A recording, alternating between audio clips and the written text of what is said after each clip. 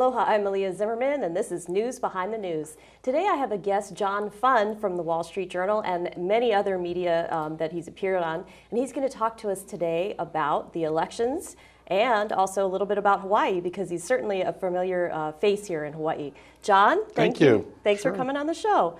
Um, John, maybe you can give us a little bit of background on yourself. And uh, I know you've been with the Wall Street Journal. Many well, people know I'm you, a, but I'm tell a, me. I'm a columnist on, uh, with the Wall Street Journal. Uh, Mm-hmm. leave right now writing a book uh, on stealing elections, which we can get to a little bit later.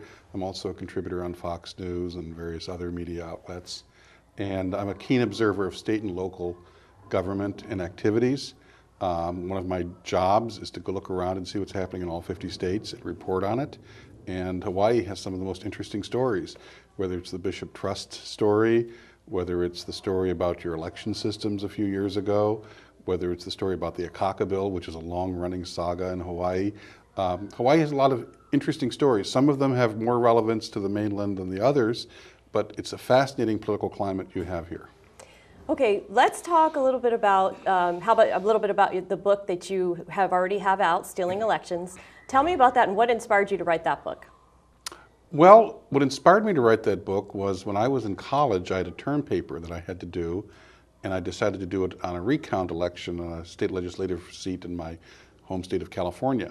So I went to observe the recount, and what I observed during the recount was many interesting things, including people committing voter fraud in front of me. And people always ask me, well, why didn't you report the fraud?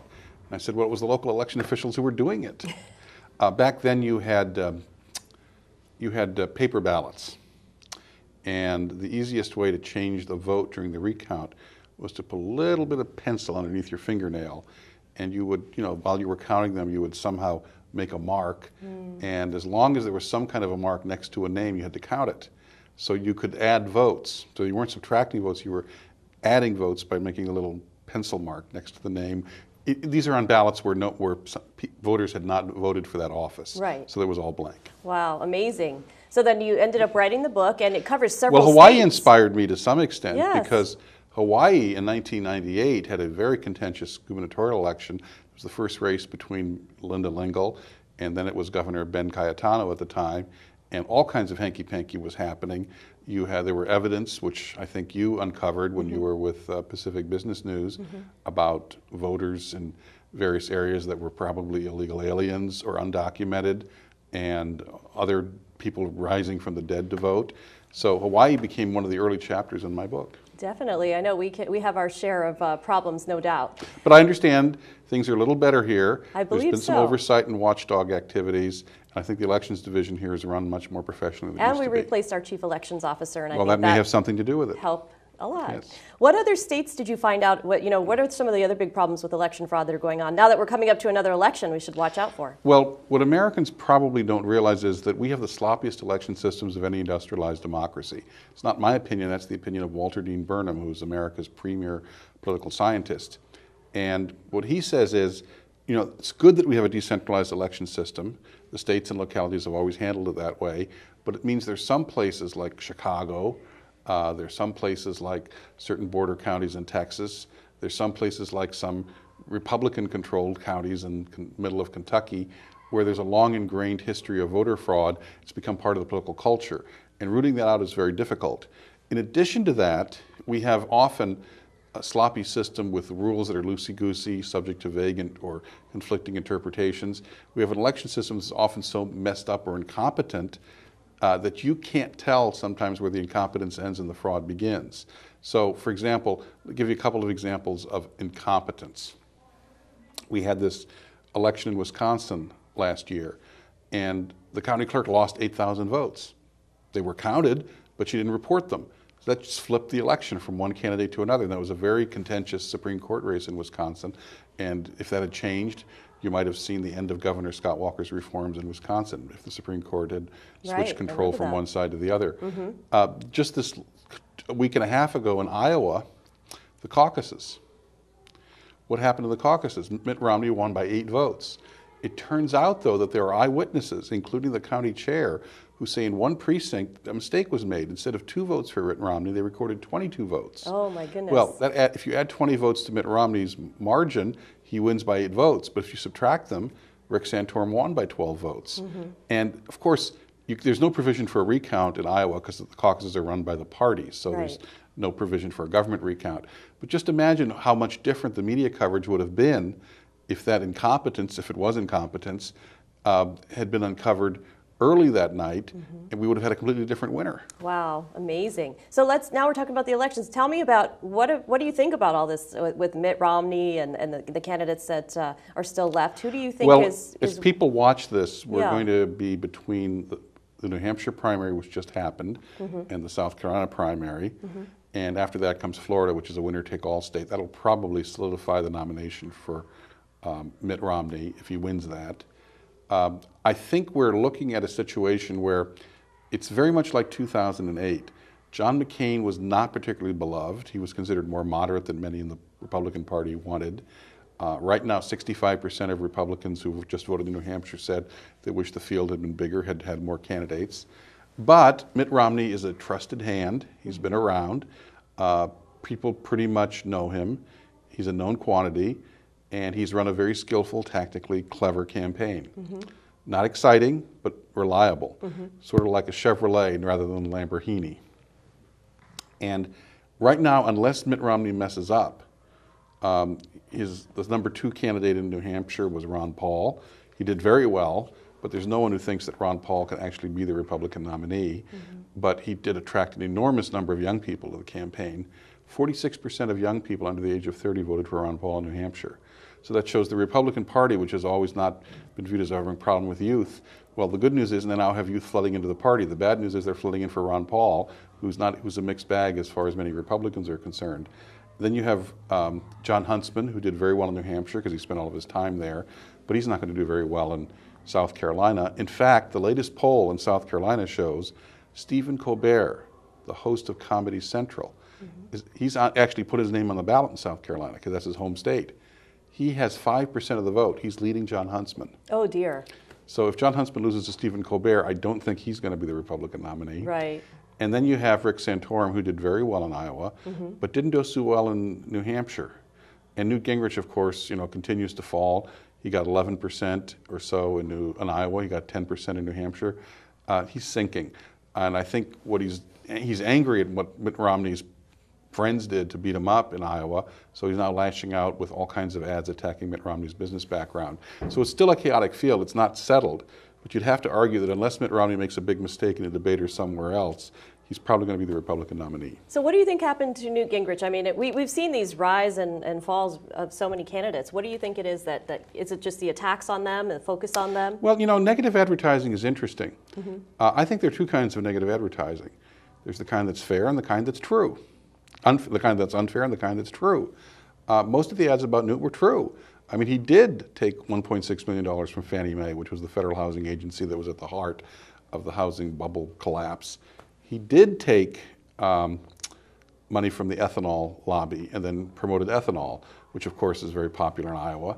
But ethanol has also been viewed as now environmentally suspect. It's been viewed as a boondoggle that wastes taxpayers' dollars. And in fact, the ethanol tax subsidies have finally ended. Congress allowed them to lapse, which is amazing, an actual federal program that went out of business. Who would have thunk it? Mm-hmm. So I believe Newt suffered because he pictured himself as an outsider, but in reality, he's been a Washington insider. Even though he's been out of office for many years, he stayed in Washington. He became part of that culture. And I think if people figured that out, they said, "We like Newt. He's a smart guy, but I'm not sure I want him to be president." What about Rick Santorum? We saw him uh, do pretty well, and then Well, New Hampshire is a different political place. Um, it has fewer evangelical voters, and that was part of Rick Santorum's appeal. And the problem with Rick Santorum is he's a very bright guy, but sort of like Newt, he doesn't let a thought go unexpressed. I mean, he got into a ridiculous debate in New Hampshire about, and you know, part of this is the media just baiting candidates because they want to embarrass them or have them trip up. He got into a ridiculous debate about contraception and gay marriage in New Hampshire. Those aren't real national issues. They're very important state issues, but they're not real national issues. Mm-hmm. And I think he got he got distracted because what people were looking for as an alternative to Mitt Romney was a full spectrum conservative, someone who had strong economic views and a strong economic track record, and also some social conservative views. And Rick Santorum, I think, lost his lost focus on that in New Hampshire, and he, that's why he ended up with 10% of the vote. So do you think that there's going to be anybody coming into the race late, or is this it? It's Pretty over. much it's over. Look, the primary deadlines are passing. You require some organization to get on a primary ballot. Mm-hmm. Um, what you see is what you get. Now, a lot of Republicans wish someone else were running. I know Republicans who say, if only Jeb Bush were running, if Right. only Chris Christie were running, if only Mitch Daniels were running, if only Haley Barbour were running. Well, they didn't decide to run, uh, either for family or other reasons. And I think that speaks to American politics right now. I think the media scrutiny and the hazing that you get, it's a real hazing, is so intense. A lot of people and their families don't want to go through it. I mean, we had, give you an example. There was a book that was published last year. It was called um, The Race. Um, and it was by Mark Halperin and John Heilemann, two distinguished reporters, and they went behind the scenes of the 2008 race. What was it really like to be behind the curtain in the John Edwards campaign? Well, that was very interesting because they had a lot of stuff to hide, and nobody knew what the candidate was really doing because he would lie to everybody. What was behind the Barack Obama administration? It wasn't always no drama Obama, it was a lot of infighting. Uh, what was behind the Hillary Clinton campaign? What was behind the John McCain campaign? A very chaotic campaign, it turns out. And one of the things that happened between 2008 and 2012 is the spouses of almost every candidate read that book. And it described the toll that it takes on the family. Right. Exactly how many nights the candidate is away from home, sleeping in a strange bed, strange city. Um, exactly how vicious the media attacks can be, how much the staff infighting can take a toll on people's psyche. And John Thune, who's one of the Republican leaders in the Senate, was thinking of running for president. And they asked him, you know, why didn't you run? And he said, well, that book, my wife read it. and yeah. she said no. right, right, right. So I think we ask a lot of presidential candidates. I think we ask even more of them than we used to. And I think increasingly people are saying, you know, it's just not something for me or I can't put my family through that. I think we have to re examine our politics because if we want the best and brightest to run for office, if we want them to run for president, um, maybe we're scaring away some of the very good ones and ending up with people who are flashes in the pan. Read Barack Obama. Uh, hope and change, hope and change. How's that working out for us? Uh, very exciting candidate, but clearly had no administrative ability, and sometimes that shows. You know, we just lost Bill Daley as his chief of staff. He now has had four chiefs of staff in the last three years. so I think we really are losing something by the way we conduct our presidential elections. They last too long, they're too expensive, and they sometimes chase away the best candidates.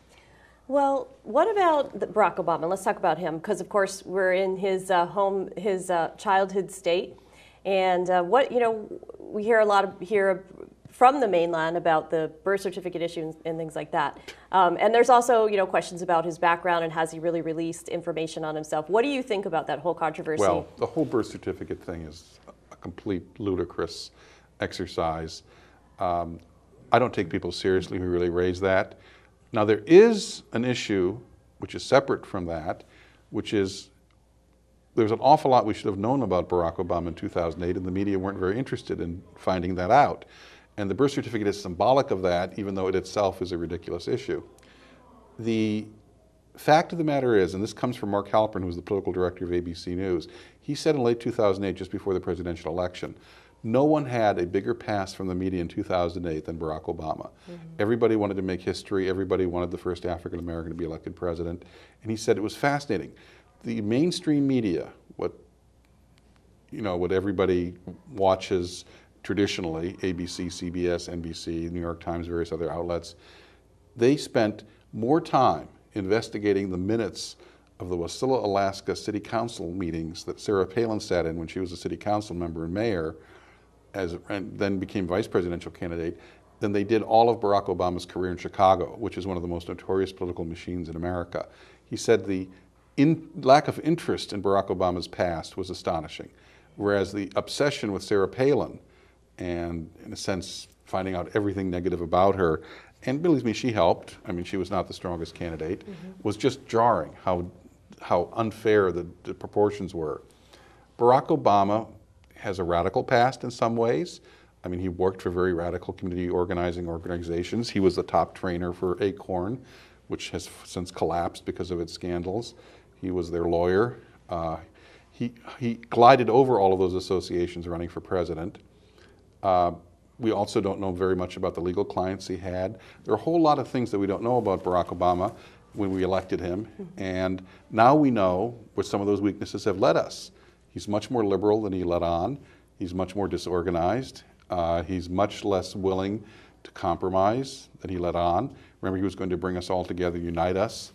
I don't think he really did or tried that hard. And I think the media really fell down on the job because they were more interested in history than in exactly who we were electing as president. Now, do you think that's going to change in this election? Do you think the media is going to do a little more investigation? Well, now Barack Obama has a record in office. Mm-hmm. So rather than go back to his past, we can look at the present. And the present is this Barack Obama's aide said, You pass our stimulus bill, we guarantee unemployment won't go over 8%. Well, it's at 8.5% now. It's probably going to go higher rather than lower in the future because I think Europe is sliding into recession. If Europe catches pneumonia, we catch a cold at least. Um, Barack Obama said he was going to focus on job want, jobs as his laser beam focus. Uh, instead, he pursued health care, cap and trade, a whole bunch of things. Um, his signature measure, reform measure, uh, Obamacare, is at 35% approval. 35% approval in the latest polls, and that's the Gallup poll. Among Democrats, his approval rating among, for Obamacare is 52% among Democrats.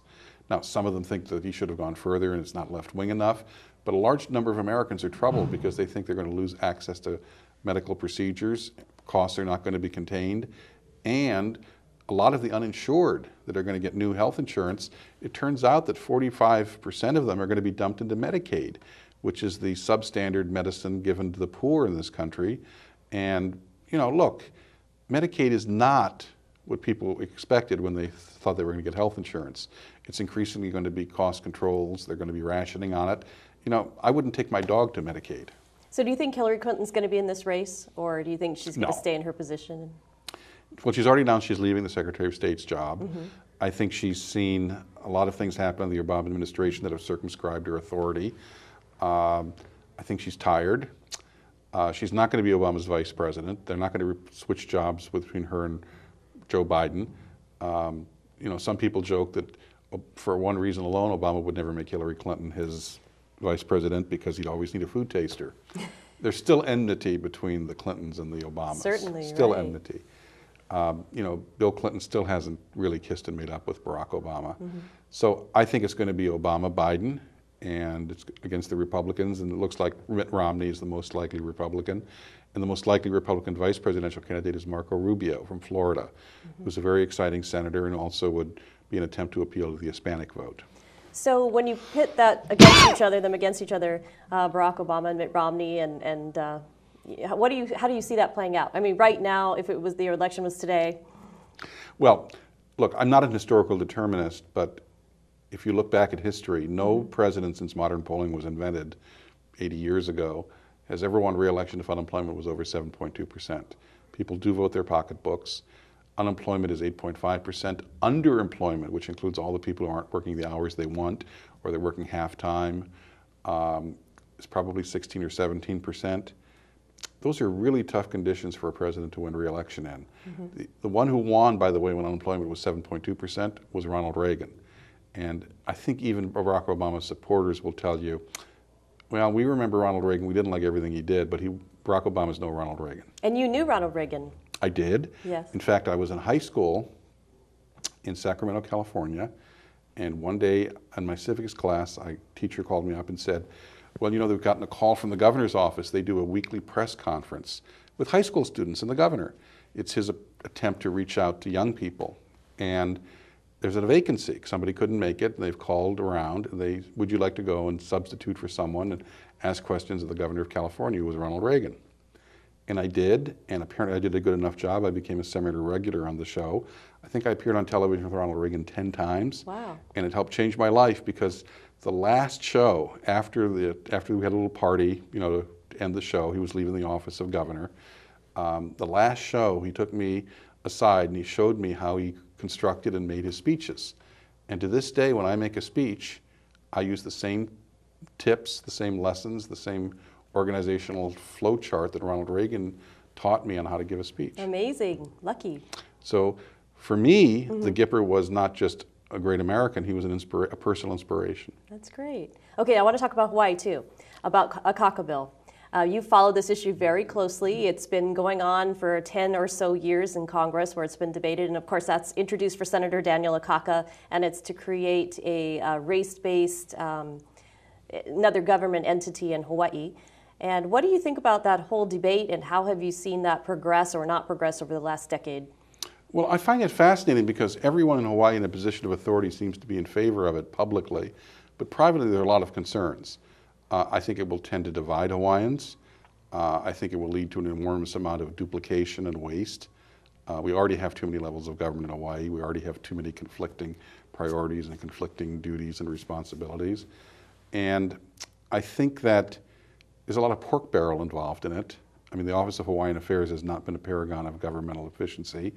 And I think, even though the opponent, the supporters of the Akaka bill say it wouldn't, would basically take all Native Hawaiians and turn them into another Indian tribe, right. subject to their own set of laws, their own set of uh, exemptions from the rest of the laws that govern the rest of us.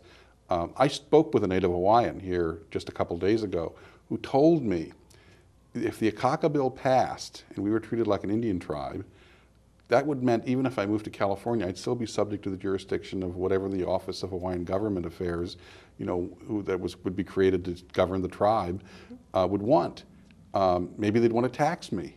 Well, in theory, they could, even if I'm living in another state. So they always tout the benefits for Native Hawaiians. But I think a lot of Native Hawaiians realize this is the white man's idea of how to treat Native Hawaiians. I don't think that's worked out necessarily all that well in the past.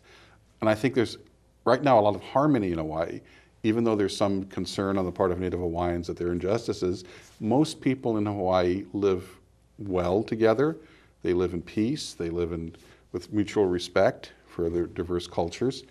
I think the Akaka bill is not going to bring people together. It's going to divide people. And one of the reasons it's not going to pass the United States Senate anytime soon is enough senators have figured this out. They've basically said publicly, we're going to block this.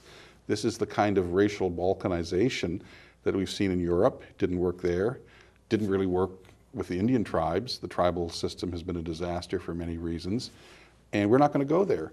So I think Senator Akaka and Senator Inouye can still pursue it. They can still try to attach it to various bills, but it's not going anywhere. The Akaka bill has become the Akaka farce.